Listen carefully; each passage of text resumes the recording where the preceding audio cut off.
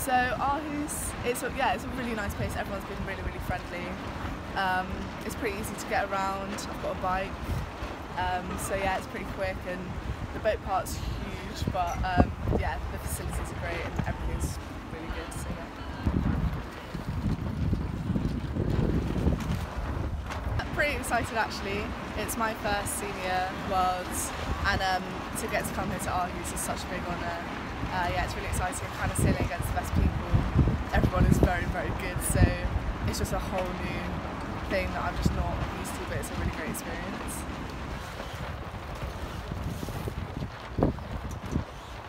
This is different to junior events because the senior fleet is all just very competitive. Like everyone's, everyone here is a very good sailor because they're all training all the time. So the standard's just that little bit higher. You come off the start line, and you're like, oh wait, there's a Olympic like whatever beside me and a world champion next to me and you're like oh wow but it's such a great experience to be here and just to get to sail against these people is really cool. And having those people next to me it's a little bit scary at first um, but they're all just normal people and actually everyone's really friendly here and everyone's been really nice to me.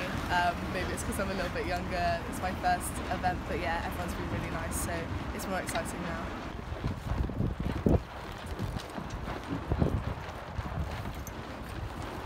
so far, the last day, um, I've had good starts and my first beats have been alright, but I've been losing places quite a lot downwind, so that's definitely what I'm going to focus on for the rest of the week.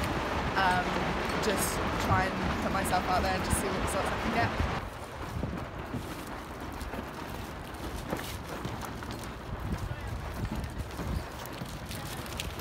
Success here would be coming away learning lots and feeling really excited about seniors because next year is my last year of under 21 so I'll be moving into the senior fleet quite soon.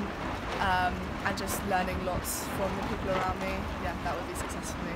Don't have a number before I'm going to come. I'm definitely not results driven I'm trying to like avoid thinking about it too much and just think about the processes more than the outcome the previous biggest event was probably the Youth Worlds in China at Christmas. Um, and this is just on another scale. Obviously, China, you had different classes of boats, but here you just have, I mean, like everyone who's good is here.